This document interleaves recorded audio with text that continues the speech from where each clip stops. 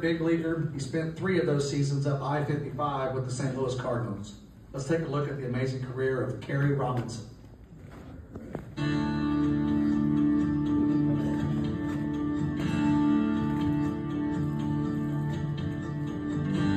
The year was 2001, and the hometown kid announced his arrival.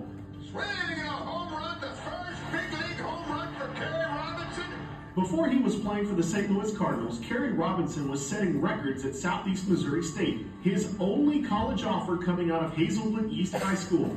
As a senior at SEMO, he hit 385, which included an Ohio Valley Conference record 35 game hitting streak. He was a 1993 second team and a 1995 first team All OVC selection. Was a very dominant player and, and was uh, fun to watch. Kerry was a guy that uh, you uh, you watched when he came up to bat. Um, you wanted to see what he was going to do and, and watch that speed. One of the easiest guys to coach. Terrific effort guy. Brought it every day. Came early, stayed late. Just a wonderful, wonderful guy to work with. But he was also super talented. The Cardinals selected Robinson in the 34th round of the 1995 draft. His MLB debut was for Tampa in 98, and he arrived in St. Louis in 2001, where he would play 354 games for his hometown team. Ripped into right. Kerry Robinson, a hero tonight. Great tell the Cardinals win. He was with the Cardinals at a time when they were really, really good. He got to play with some of the all-time guys. If you're a Cardinal fan and, and a baseball fan, Yadier Molina, Wainwright, Albert Pujols, just phenomenal. Fit right there in the middle with him, Kerry. During Robinson's three years in St. Louis, he belted out 152 hits while batting 264. He helped the Cardinals to a wild card berth in 2001 and the division title in 2002. A slick fielder, he also made just four errors in his seven-year big league career. He was someone that that uh, you knew was going to do great things.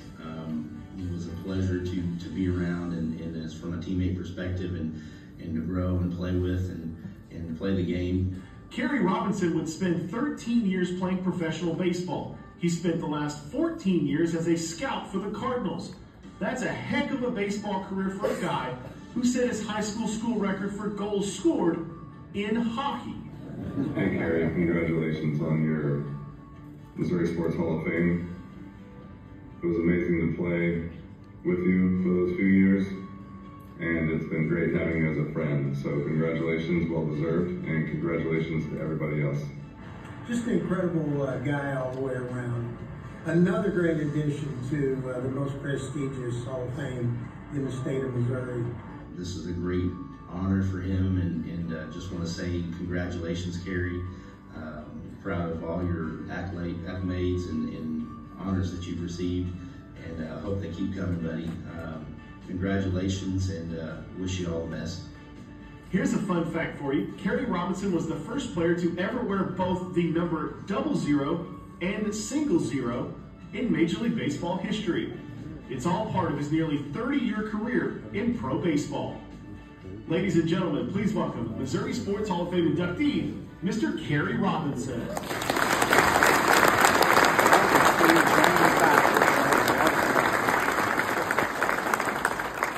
Thank you. And uh, congratulations to all my fellow 2024 classmates for their induction and athletic achievements. Uh, special shout out to uh, fellow Hall of Famer and uh, teammate Andy Benes is here.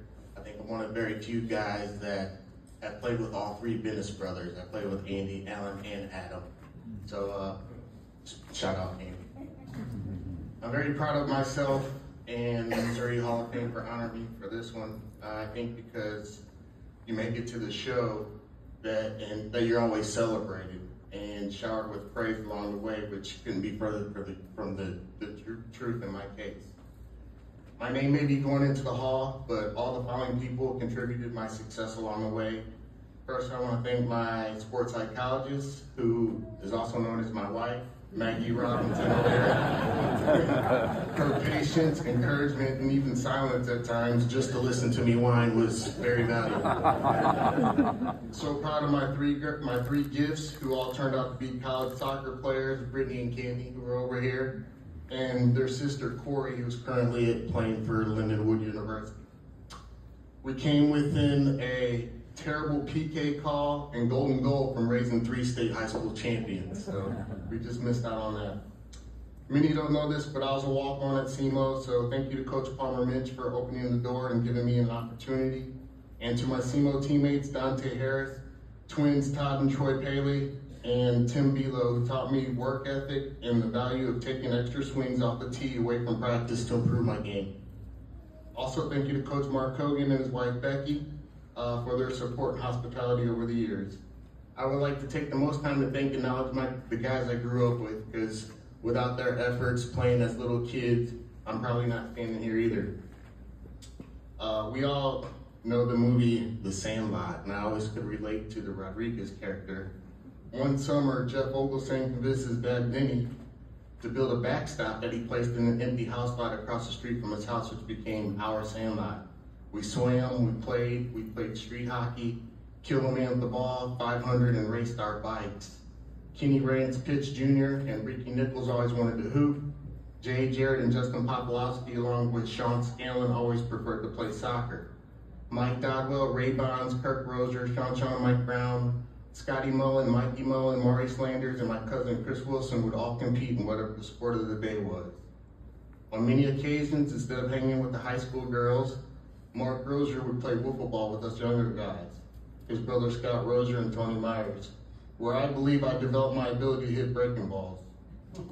Years later, using a duct tape wiffle ball bat and throwing a tennis ball as hard as we could from about 30 feet away, I truly believed I developed my ability to hit velocity uh, playing fuzzball with my high school buddies, Steve Jones, Andy Bursley, and again with J Pop. Thank you to a fellow member of this hall, my father Rogers Robinson, for teaching me all he knew about the game. He came into this Hall of Fame uh, because his American Legion baseball team won the national championship.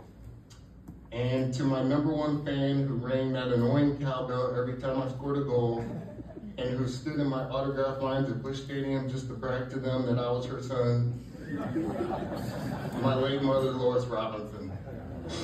Finally, again, thank you to the Missouri Sports Hall of Fame Committee for thinking and inducting this kid who lived out his dream of playing Major League Baseball from Spanish Lake, Missouri.